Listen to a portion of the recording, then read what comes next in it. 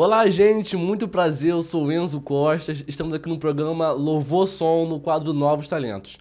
Júlia, é uma honra, tá? Prazer, Você aqui no nosso programa.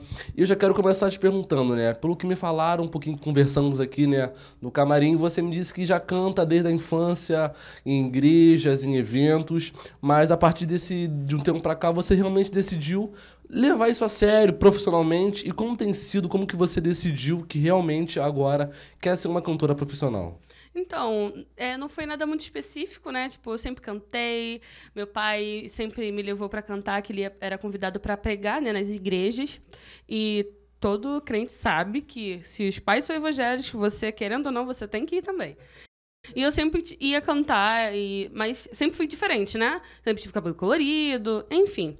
E aí, de um tempo pra cá, eu fiquei pensando: tanto talento guardado, por que, que eu não tô usando isso ao, meu favor, sabe? Ao favor, assim, de Deus também. Que, assim, acho que ele não daria um talento pra mim pra eu morrer com ele. Não, não é possível, né? Então, muitas pessoas falavam, ah, você canta tão bem, se inscreve no The Voice. Ai, não, eu tenho vergonha. Mas aí agora eu fiquei com raiva da vida e falei, não, agora eu vou botar a minha voz pra rolo e todo mundo vai ouvir o que Deus tem pra fazer, sabe?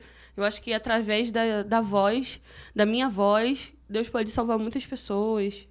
E é isso. Foi assim. Cara, perfeito. E como é que tem sido pra você, né? Porque isso é uma experiência nova, né? Você, o que que você espera da sua carreira? Você pretende realmente levar isso como carreira mesmo sua?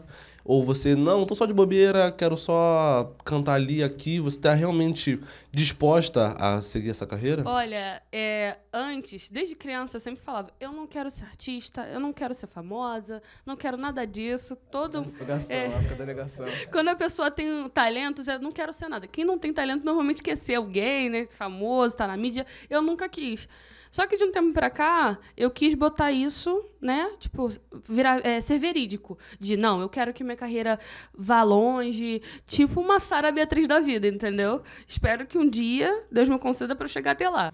Eu queria te perguntar se tem alguma música que marcou a sua carreira, alguma música que toca o seu coração. E se tiver, canta um pouquinho pra gente.